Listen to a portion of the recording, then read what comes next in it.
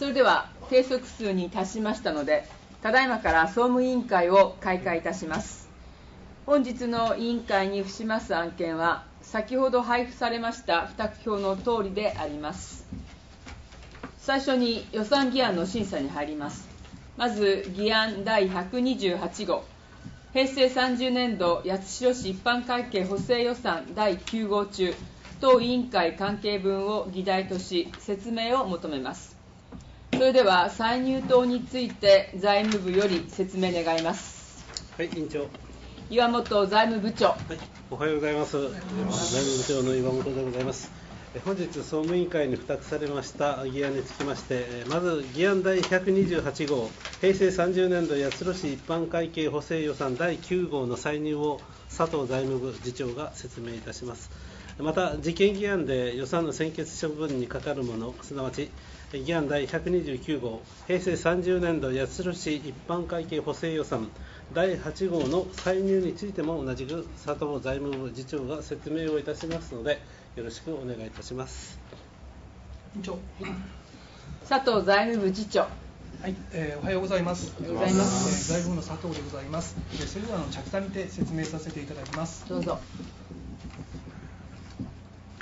議案書の1ページをお願いいたします。議案第128号、平成30年度八代市一般会計補正予算9号でございます。総務委員会付託分につきまして説明をいたします。3ページをお願いいたします。まず、歳入歳出予算の補正でございますが、第1条で歳入歳出それぞれ3660万円を追加し、補正後の総額を歳入歳出それぞれ588億6090万円といたしております。第2条では繰越免許費の補正を第3条では地方債の補正をお願いしておりますが内容につきましては5ページの表で説明いたします。それでは5ページをお願いいたします。第2表繰越免許費補正の追加といたしまして緩急教育費高2小学校費の小学校空調設備設置事業で3660万円の設定を行っております。これは夏場における学校教室内の暑さ問題の改善策といたしまして、本年度は中学校、幼稚園の空調設備の設計に着手したところでございますが、国の新たな制度設計に合わせ、小学校の普通教室などにも予定を前倒しし、空調設備の設置するための設計を行うものですが、年度内の完了が見込めないことによるものでございます。次に第3票、地方債補正は、ただいま説明いたしました歳出予算の補正に伴い、地方債の限度額の変更を行うものでございます。学校設備事業で補正前の限度額4億6780万円に3470万円増額し、補正後の額を5億250万円に変更しております。なお、記載の方法、利率、償還の方法につきましては、補正前と同じでございます。詳細につきましては、9ページの歳入間21記載のところで改めて説明いたします。歳入を説明いたします。9ページをお願いいたします。間10、項1、目1、節1、地方交付税で190万円を計上しておりますが、これは今回の補正予算の一般財源でございます。次に、間21、項1、司祭、目7、教育祭、節1、小学校祭の3470万円は、先ほど第2票、繰越免疫費補正で説明いたしました、小学校空調設備設置事業にかかるもので、事業費に対し、充当率95%の合併特例債を予定しております。以上が歳入の説明でございますが、総務委員会に付託されました歳出はございませんので、これで説明を終わります。ご審議のほどよろしくお願いいたします。それでは以上の部分について質疑を行います。質疑ありませんか？はい。古島委員。実は昨日あの国会の答弁を聞いてたんですけど、まあ、小学校、中学校のエアコンについては3分の1ぐらいの補助が出るという話の答弁があったようですが、その先ちょっと離れましたので、うっすらとしか記憶はございませんが、まあ、北海道から沖縄までということで、順次その、この辺の補助はどのようになっているのか、分かる範囲内でいいので、お聞かせをいただきたいと思います。尾崎財政課長。財政課の尾崎です。お世話になります。えーただいまのご質問につきましてはですね、えー今回の今あの補助のですね、えー内容としまして聞いている範囲ではですね、えー補助率3分の1ですけれども、えーもともとその補助の基準額自体が実際行う事業のですね3分の1程度ですので、実際はまあ9分の1程度の要は工事にかかる分の補助金がいただけるのかなという想定でございます。でなおですね今回あの設計委託の分につきましてはですねその総事業費の1%程度しか補助対象にならないということですのでかなり少ないうんの補助金になるかと想定しております以上でございますとその北海道から沖縄まであるけどそのどっか先補助つけました？えあその辺のところもなんか昨日国会でないはい藤島委員、そこは。また別の質問であれば、あの挙手をお願いいたします。ねよかですね。よろしいですか？よろしいですか？よろしいですか？すいません。他にありませんか？えー大倉委員。はいえっと、今回は、まあ、この歳入に限ってという形になってるんですけども、えっと、地方交付税と司債の、まあ、割合を教えていただいていいですか？なぜ100え一般財源が190万？先ほどの地方のすみません合併特例債の充当率に合致しているのかどうかそういう部分も含めてお願いできれば尾崎財政課長。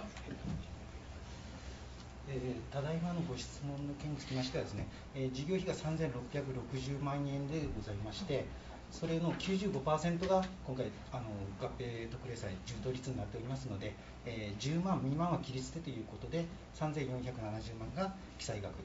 残る190万については一般財源というふうな取り扱いになっております。はい大倉委員。はい、とそこで、えーまあ、司祭で、まあ、対応されたということなんですが、ここで司祭を選択をされた理由、またあの一方ではあの基金あたりの活用という部分も考えられたと思うんですよね。そのあたりはどういう判断をなされたのか、お聞かせいただきたいと思います。尾崎財政課長。あの先ほどの話にもありましたが、一応、補助対象にはなっているということで、ですね今後、国の動向をですねあの見た上で、えー財源調整はですね、えーおそらく3月補正になるかと思いますが、えーさせていただきたいとは考えております。基金につきましてはですね、えーまあ、そういうのも含めてですね、今後検討したいなとは考えております。はい、大倉委員。はい、あの今後検討するということではなくて、やはり財源を組むときには、有効な財源はこれが一番なんだというところで、やはり提案をされるべきだというふうに思います。ですので、あのちょっと心配しているのが、あの合併特例債あの、非常に有効な財源だというふうには理解もしてるんですけれども、先日、視察に行った、えー自治体でもですね、八代市よりも財政力が豊かなあ市でありましたけれども、この合併特例債はあくまでも債ということで、借金なんですよね、慎重にやはりあの活用していかないと、財政破綻という、まあ、言葉はちょっと厳しいあの言葉ですけども、財政を圧迫するようなことになりかねないのでという、あの視察先のですね職員さんのお言葉もいただいたところです。非常にこう今の合併特例債が活用される機会が多いので、ちょっと心配して、そのあたりを尋ねた、尋ねたと言いますか、お尋ねをしたような次第です。はいで今のご質問は、今の答えでよろしいですか？はい、ところで大丈夫です。はいまた後で意見として。他にありませんか？えー以上で質疑を終了します。意見がありましたらお願いします。はい。はい、大倉委員。はいえっと、今あの、繰り返しになりますけれども、えー、財源の確保というところでは、執行部の方もですね、知を絞られてというところがあるかと思いますが、あのやはり財源を組まれる上では、あその裏付けとなる部分をしっかりですね、検討していただいて、えー、最善の方策というところをやっぱり持って提案をしていただきたい。えー、で、えー、さらにはその合併特例債、えー、災害復旧事業債とか、あの情報交付税に反映されるというようなあの制度のものがありますけれども、あくまでも借金ですので、えー、有効な、慎重なですね活用をお願いしたいというふうに思います。他にありませんか？なければこれより採決いたします。議案第128号、平成30年度八代市一般会計補正予算第9号中、当委員会関係分について、原案の通り決するに賛成の方の挙手を求めます。挙手全員と認め、本案は原案の通り可決されました。ありがとうございました。次に事件議案の審査に入ります。それでは議案第129号平成30年度八代市一般会計補正予算第8号中歳入分にかかる専決処分の報告及びその承認についてを議題とし説明を求めます、はい、佐藤財務部次長はい、えー、引き続き着眼にて説明させていただきますどうぞ議案書の11ページをお願いいたします。議案第129号、専決処分の報告及びその承認についてでございます。内容は、平成30年度八代市一般会計補正予算第8号で、9月定例会後にゴミ処理施設管理運営事業におきまして、早急な対応を行う必要から平成30年10月4日に専決処分を行ったものでございます。総務委員会付託部について説明いたします。15ページお願いいたします。第1条は歳入歳出予算の不正でございますが、歳入歳出それぞれ840万円を追加し、補正後の総額を歳入歳出それぞれ588億2430万円といたしております。え続きまして再任を説明いたします、え20ページお願いいたします関10、高一、木一、節一、地方交付税で840万円を計上しております。これは本年8月30日に清掃センター周辺の水筒や各等が枯れる事案が発生し、調査を行いましたところ、焼却を行った際の煙が影響しているとの判断から、対象工作者対象工作者に対し、保証等を行った際の今回の補正予算の一般財源でございます。以上が産業の説明でございますが、総務委員会に付託されました歳出はございませんので、これで説明を終わります。ご審議のほどよろしくお願いいたします。それでは以上の部分について質疑を行います。質疑ありませんか？はい。大倉委員。はい保証ということで、えー、今回歳入の計上になっておりますが、えー、と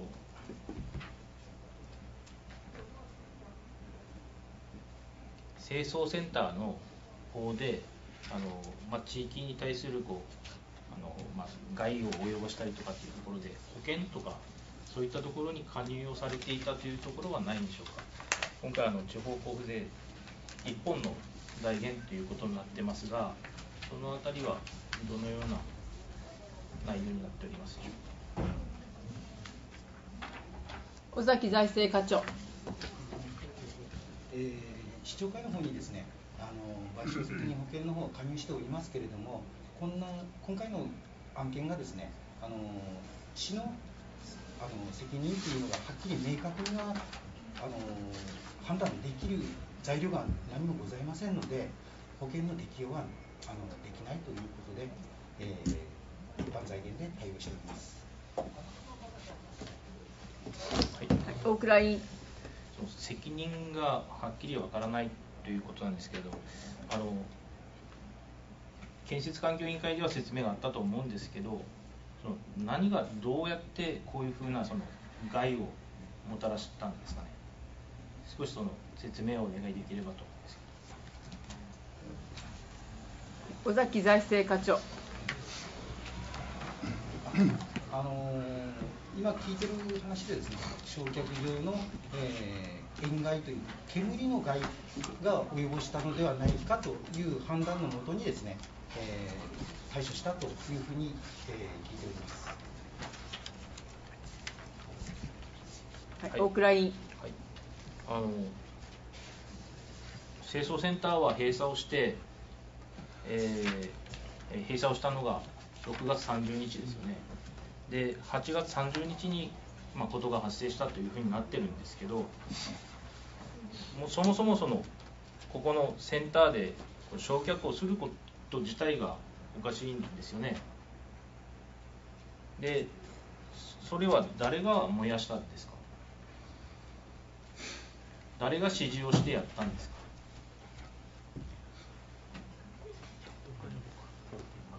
か？例えばこれがですよ。これが、まあ、市の指示であれば市の方が責任を取らないかんかもしれないんですけど例えば業者さんが勝手にやった、まあ、管理責任は市の方にあるかもしれませんが業者さんからのその負担金というのも一部にもしその業者さんが絡んでいるということであればですねそういうことも考えられるのかなとちょっとこう可能性というところの質問になってしまうとですけどはっきりことをさせないさせないかんという案件だと思いますのでお尋ねをしたいと思います。どなたかお分かりはい、岩本、えー、財財務部じ財務部長。はい、えっ、ー、と詳細の内容にに関わることですので、ちょっとあの財務の方ではお答えしかねますので、今ちょっと原価がいればというところで探しておりますので。で紹介します。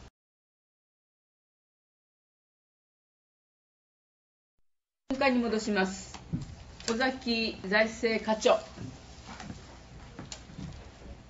あの私の方から説明させていただきます。えー、今回、6月末にですね閉鎖しましたけれども、その後の、えー、片付けの部分でですね市の方からあの委託業者の方に委託してあの焼却業務をやったということで発生した事案でございます。以上です。はい。大倉委員。あの法の法を守らなければいけない行政がですよ。その一旦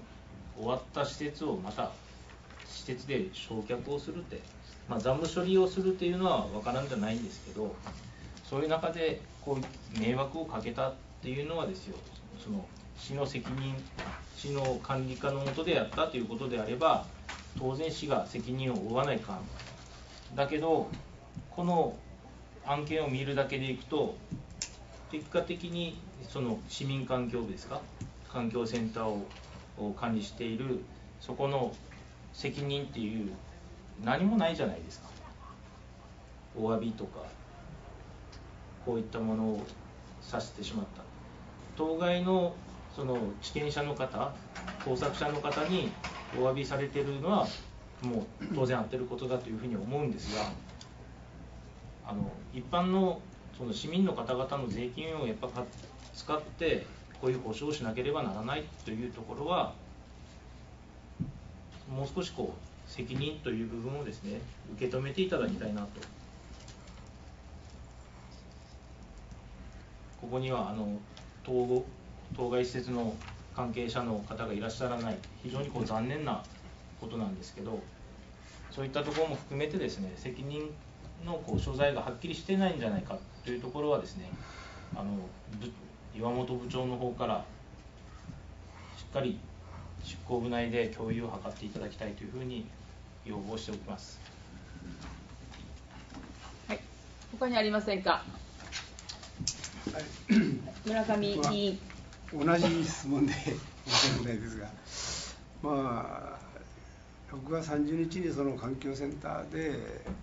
もう新しくスタートしたというところで、なぜそのそこにできるんだったのかなという、先も説明があったとは分かったですけども、まあ、普通、こう民家で農薬なんかした場合、非常にやかましいじゃないですか。やしも煙も非常にやかましく出てくるわけですよね。そういうところでこういうことをそのまあ、残残務整理ということでしたと、うん、言われますけども、まあ、そこのあたりはもうやっぱし、もうちゃんとした指導をですね、戦からこういうふうにやっとですから、虫の責任はもうこれはもう免れないですよね。それを容認したその、まあ、財政も容認したわけですから、まあ、もう責任を取ってやらんとしようなですよね。でもう私が言いたいのは、もうそういうもう環境センターの立派な環境センターができたんですから、そういうもう、残務整理というても、あっちに持っていけばよかったわけですからですね。私も同じ農業者として、その塩害を受けられた皆さん方には本当に気の毒でならんわけですから、責任を持って一つ対応していただきたいと思います。以上です。他に、はい、すみません、はい、大倉委員。確認をし忘れました。あの先ほど保険の対象にならないということでした。まあ、財源としてはこの地方交付税しかないのか、その点をお聞かせいただきたい。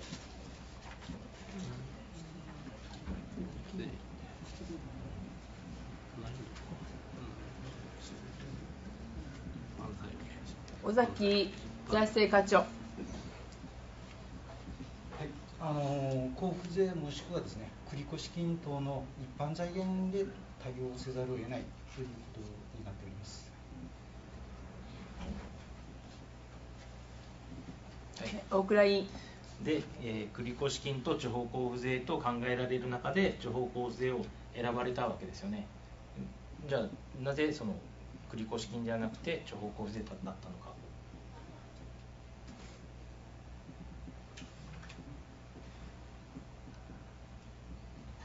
よろしはい、おえー、尾崎財政課長。あ、あの切り申しましてどちらでもよかったのですが、今回は交付税でした。同じ一般財源ですので、したということです。はい。わ、かりました。はい、他にありませんか？えー、以上で、あ、えー、意見がありませんでなければこれよりはい、委員長意見をお願いします。失礼しました。以上で質疑を終了します。意見がありましたお願いします。はい、はい、大倉委員。はい、あの今回保証という形で出ておりますけれども、責任の所在をですねはっきりした上でこういう提案を行っていただきたいということを意見として申し上げておきます。はい。